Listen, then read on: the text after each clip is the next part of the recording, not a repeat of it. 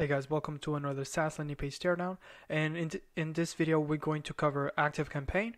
And um, and on the surface, this page actually looks really good. It, it looks like they're talking about the talking about the right stuff. They're talking about the features. It looks like an email marketing tool. It, everything looks normal. But in reality, this page is actually pretty bad because they're selling me the wrong thing they're trying to sell me email email marketing or marketing automation, but they're selling me the wrong thing. And I've did my research because this is the tool that I'll be using for my email marketing, and um, and yeah, they're selling me the wrong thing. Here's here's why that happens.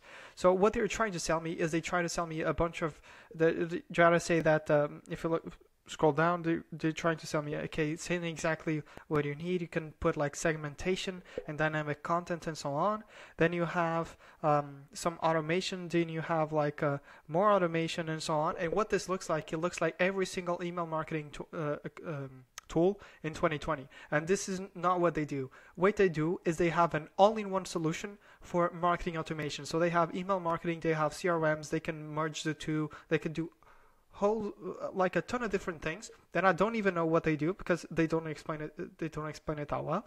But I know that how powerful it is and how much better the automation is but they talk, don't talk about that. They just look like any other email marketing tool out there. And the reason why I know that is because I've been studying what other marketers are using, like the best marketers around, um, and, and notice how they talk about ActiveCampaign and how they use it. And that's how they use it. They use it as an all-in-one. They mentioned that the benefits is because it's an all-in-one. And uh, when you look at the pricing and you perceive it as an all-in-one tool, um, then you know, okay, this is super affordable. But if you look as, a, as an email marketing tool and you go to the pricing page and you're like, shit, this is way too expensive. I, I don't need this. I'm going to look elsewhere, right? And, and, that's what happens. And, and a friend of mine, which is also a marketer, also referred me to ActiveCampaign. And that's how he mentioned it as well as an all in one tool. So that's why they're selling me the wrong thing. So if they were to sell me what they actually do, which is as an all-in-one, they will get way better conversions and they will stand out way more from the, from their competitors. And another thing that I really don't like about this page is that they they ask me to visit 12 different links. Like whenever I see these links to try to understand how uh, you know basically when you do this for your uh, visitors so they can understand how they can use your product. Um, and another thing is website tracking and analytics and using that with emails email marketing. I didn't even thought about that. So imagine the possibilities of doing it. So what they're doing here is like instead of being the pushy car salesman, car salesman, they're doing the opposite. They're like a car salesman that gives you a bunch of flyers, like 30 flyers, so you can go around the, the dealership and you can decide yourself based on stupid flyers on which car you want to buy. And do you think you're gonna walk away the, from the dealership with a with a car?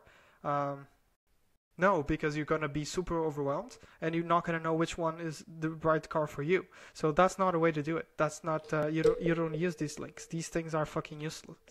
You just give an overview of the product and then ask them to book a demo or to get a free trial and try all of this for themselves. So if you do it right, it works really well. And the last thing is that they are not mentioning the two biggest things with these email marketing tools. So one is they're kind of hard to learn so what they do is they offer uh, they offer training, they offer webinars, they uh, they offer tutorials, they offer one-on-one training and so on for free, right? And they're not mentioning that. They're mentioning that here, which is hidden away in this block of features that I'll never read. And the another thing is the migration, which is a pain in the ass for moving from MailChimp to ActiveCampaign or from ConvertKit to ActiveCampaign. And what they do is they actually do the free the migration for you, 100% for free. Like it's right here. Do you think I'm gonna? I would read this if I wasn't paying attention? No fucking way. I'll read this. So imagine how many customers they are losing uh, because of this and because they're not doing it. Like they're the perfect offer. They have all the reasons for people to want to buy their products, but they don't explain it properly, even though it looks like they do. So yeah, that's about it for the SaaS landing page breakdown. Um, if you're wondering if you have these these issues on your website as well, because probably you have a really good product but you're not explaining it 100% well, um, what you can do is I can offer you a free 60-minute consultation, a real consultation, not like a sales call or something. And what we'll do in this call is we're gonna get super super clear on what you want to achieve, you know, your goals, the metrics that, uh, that you need to get there. Then we're gonna look at your current situation and see what's working, what's not working, what's wrong and what needs to be fixed so you can go from your current situation to, to your goal right and during the call, I'm actually going to sh- uh, share with you what you need to change and how you need to change it to get there. Right. So that's the clarity. That's the, the value of that call is me showing you what you need to change and how you need to change it. So we walk away with extreme clarity. And your next step to, uh, to apply for that free consultation is just go to cortes.design slash apply, follow the instructions, and book a 15 minute intro. So I can, uh, so uh, basically why we do that is to understand if the call is a good fit for you and to understand, and basically to ask you a few questions to prepare for the 16 minute call because it's really a valuable call and I need to prepare for that. So if you're interested in that, in, in that amazing offer, just go to cortes.design slash apply and you'll see all the details and you'll see a, a link to book in Calendly. So that's about it for this video and uh, see you on a call. Cheers.